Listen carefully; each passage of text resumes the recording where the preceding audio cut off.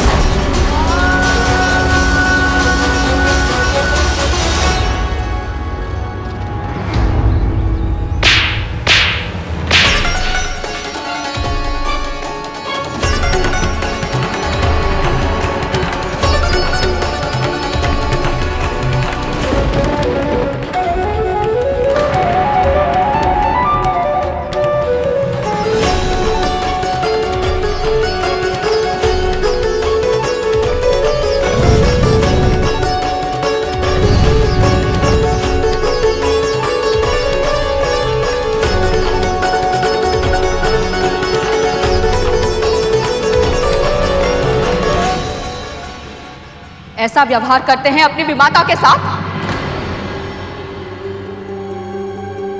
आज तक मुझे अपने पालन पोषण पर अभिमान था। अपने संस्कारों पर अटल विश्वास था, अपनी तपस्या पर गर्व था कि मेरे पुत्र में कोई दोष, कोई विकार नहीं है। पर आज क्रोध में तो तू अंधा हो गया, गरुड़। जो व्यवहार तूने अपनी बड़ी माँ और अपने भाइयों के साथ किया है ना, उसने मेरे हृदय पर बहुत गहरी ठेस पहुंचाई है।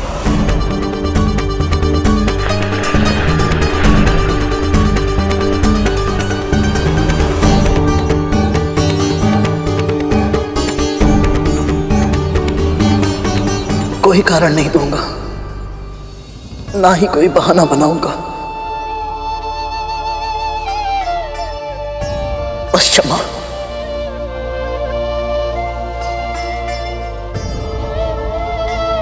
जिनका अपमान किया है तुम्हें क्षमा दान देने का अधिकार भी उन्हें ही है। क्षमा की याचना करनी है तो अपनी विमाता महारानी कद्रू से कर।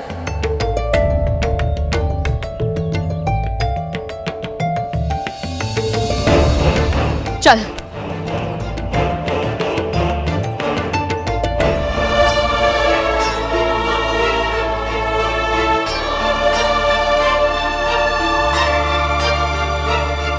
महारानी। जो अपराध तूने आज किया है उसके लिए क्षमा पर्याप्त नहीं है।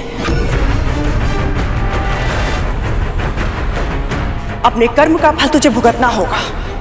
दंड मिलेगा तुझे दंड।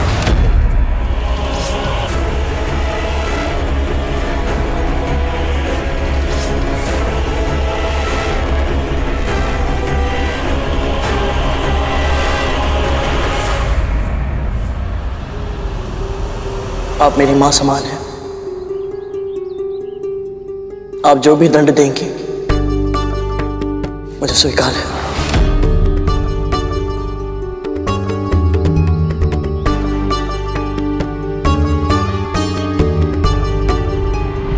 मैंने तुझसे कहा था ना, यदि माँ कोई त्रुटि करेगी तो दंड पुत्र को मिलेगा। यदि पुत्र कोई अपराध करेगा तो परिणाम माँ को भुगतना होगा। आज तेरी माँ के मना करने के बाद भी तूने मेरे पुत्रों पर आक्रमण करके यह सिद्ध कर दिया है कि अब तेरी माँ का आदेश तुझे नहीं रोक सकता। तेरी माँ तुझे समझाने में विफल हो गई है। इसलिए मैं वही करूँगी। जो एक स्वामिनी अपने दास को नियंत्रण में रखने के लिए करती है। आज तक तू एक दासी पुत्र था, गरुड़। किंतु आज से, अभी से अभी से तू हम सबका दास होगा। तू हम सबका दास होगा। तू हम सबका दास होगा।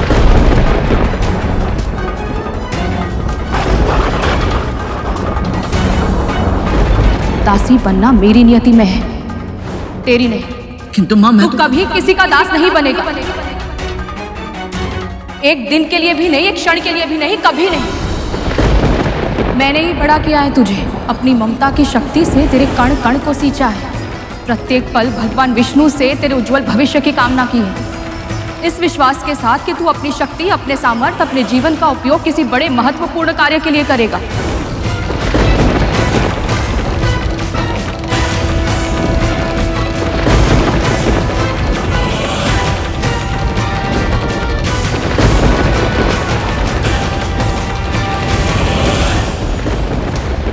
मत कहिए दीदी। मैं दासी हूँ, पर मेरा पुत्र, वो आपका दास कैसे बन सकता है? उसे मुक्त रहने दीजिए।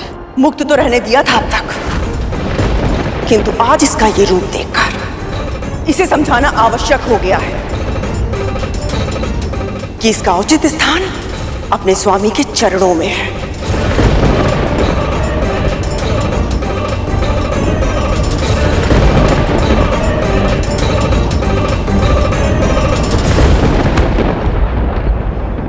माँ मैं आपके आगे हाथ जोड़ती हूँ, दीदी। मैं मानती हूँ, इससे बहुत बड़ा अपराध हुआ है, पर मैं आपको वचन देती हूँ। अब आगे ऐसा कभी नहीं होगा। या आपको या आपके पुत्रों को हानि पहुंचाना तो दूर दृष्टि ऊँची करके देखेगा तक नहीं। वो तो देख लिया मैंने आज। देख लिया। कि कैसे ये तेरे नियंत्रण के बाहर जा चुका है? तेरे वज़न का कोई मूल्य नहीं है बिंता और वैसे भी, दासी का पुत्र तो दास ही होता है ना? होता है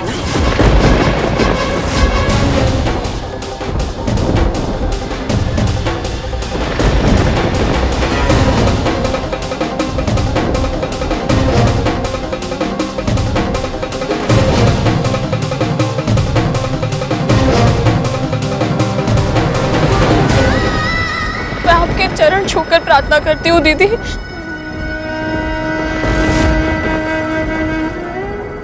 मेरा अनुरोध स्वीकार कर लीजिए। ये ये मूर्ख है, ये बालक है। इस पर दया कीजिए, क्षमा कर दीजिए इसे। तू तो ऐसे कह रही है कि जैसे मैं इस पर कोई क्रूरता कर रही हूँ।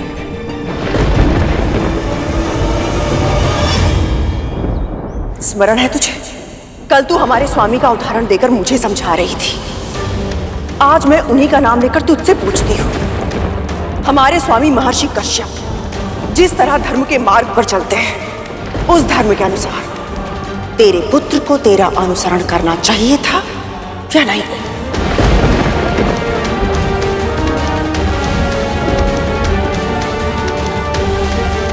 बता, क्या कहता है तेरा धर्म?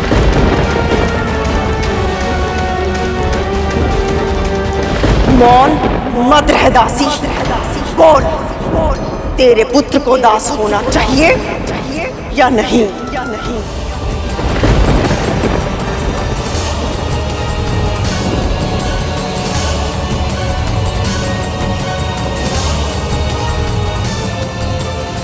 क्या हुआ? बता ना, क्या है तेरे धर्म के अनुसार उचित?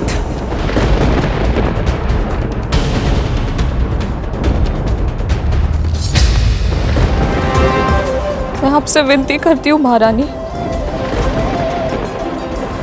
ये निर्णय लेने के लिए मुझे विवश मत कीजिए। अपने पहले पुत्र को जीवन भर का दुख दे चुकी हूँ मैं।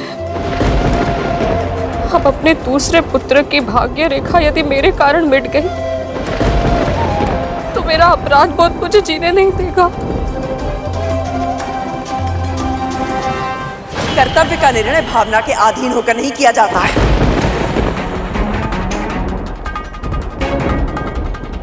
केवल इतना बता धर्म के अनुसार तेरे पुत्र को दास होना चाहिए या नहीं? या नहीं?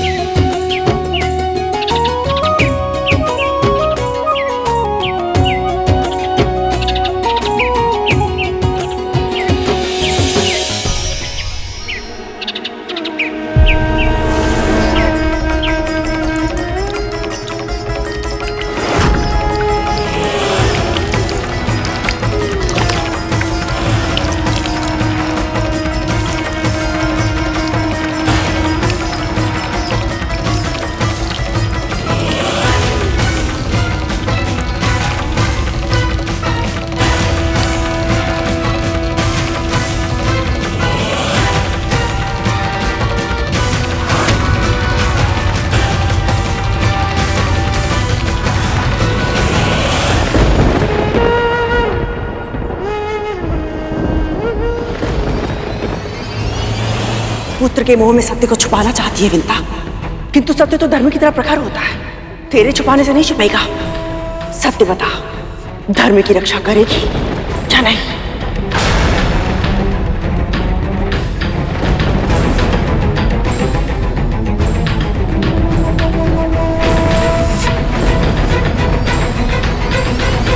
सत्य कहा आपने?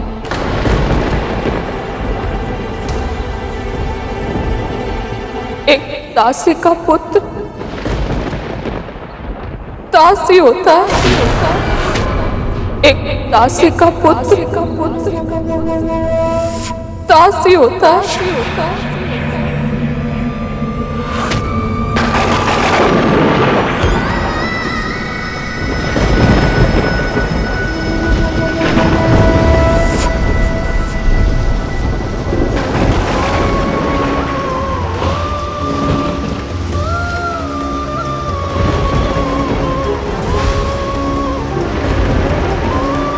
मेरी माँ के मुँह से निकला हर शब्द। मेरे लिए सत्य है। और अब ये सत्य ही मेरा धर्म है।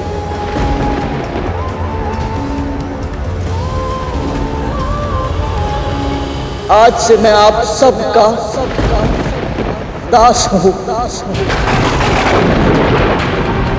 आज से मैं आप सबका सबका दास हूँ।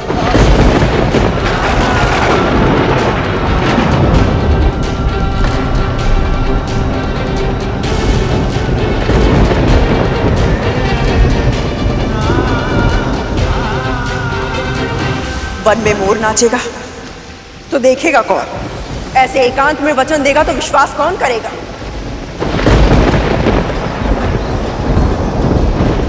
तेरे दासत्व की घोषणा सबके सामने की जाएगी।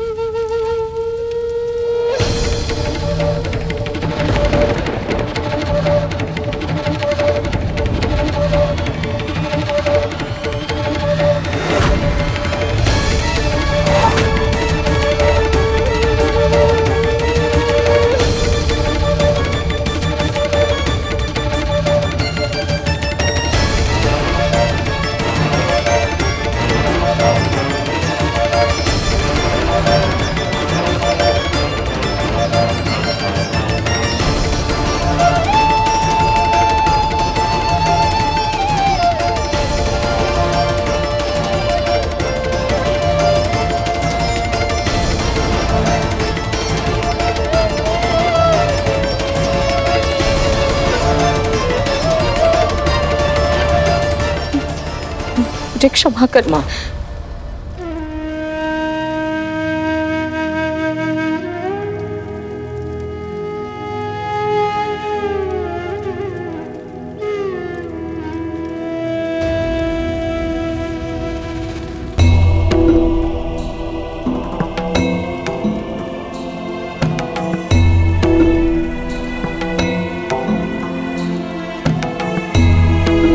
यशस्वी भव आसन ग्रहण कीजिए।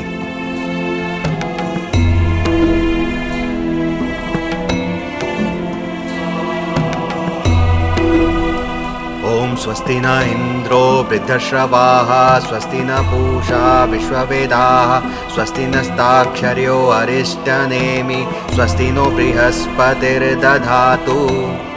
महारानी अब मैं पंच महाभूतों का आवाहन करता हूँ। ओम अग्नि तत्व देवताभ्यो नमः, स्वाहा। ओम पृथ्वी तत्व देवताभ्यो नमः, स्वाहा। ओम जल तत्व देवताभ्यो नमः, स्वाहा। ओम वायु तत्व देवताभ्यो नमः, स्वाहा।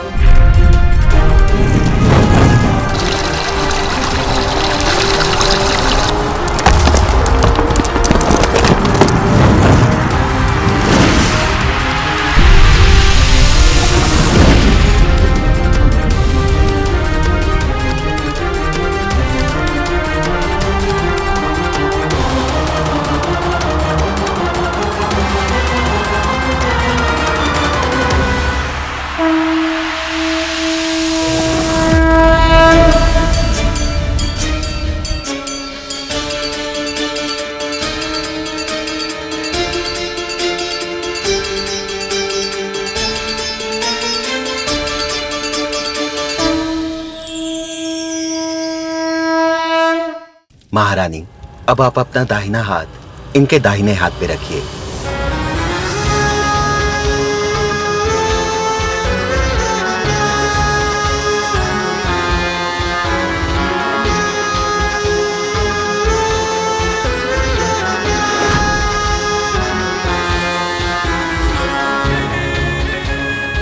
आरंभ कीजिए।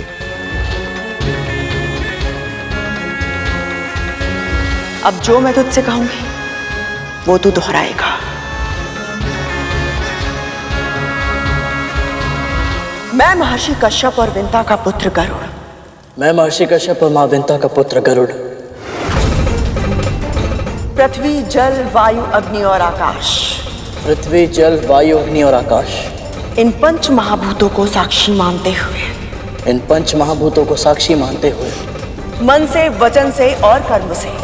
मन से वचन से और कर्म से। मेरी विमाता महारानी कद्रू और उनके एक सहस्त्र पुत्रों की दास्ता स्वीकार करता हूँ। करता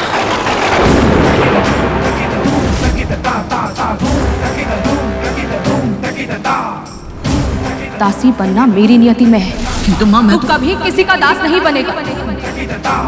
एक दिन के लिए भी नहीं एक क्षण के लिए भी नहीं कभी नहीं। जो मेरी माँ का अपमान करेगा मैं उसका सम्मान कभी नहीं कर सकता। स्मरण स्मरण।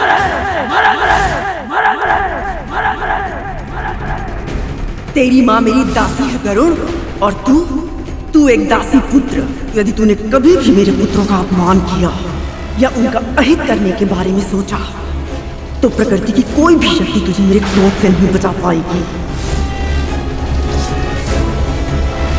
अपनी विषैली शक्तियों पर बहुत अभिमान है ना तुम सबको? आज उसी अभिमान का अंत करूँगा मैं। तुम्हारे विश्व गणने के सामर्थ्य को नष्ट कर शक्तिहीन बना दूँगा मैं तुम सबको। प्रातः कालिया के पाँचों सिरों को उखाड़ कर अपनी माँ के चरणों में फेंक दूँगा। मेरे ये नख हमारे भगों को सहस्त्र टुकड़ों में उखाड़ कर फेंक देंगे।